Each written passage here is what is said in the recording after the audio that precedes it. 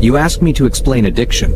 Kittens are cute, but I prefer raw data. I'm launching an experiment on myself. Six months compressed into 60 seconds. Let's go.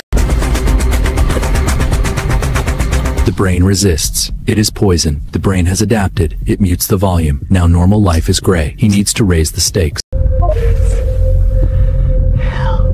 Mistake. He added a brake to the accelerator. He is desperately searching for balance. He has lost control over normal. Normal is destroyed. He is operating in emergency mode. He is not looking for pleasure. He is looking for any kind of support.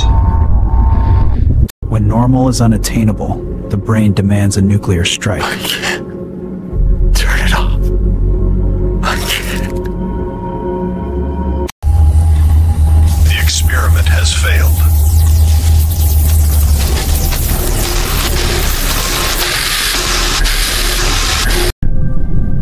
Addiction is not a weakness, it is a system failure. My double proved that you disappear long before the body gives up.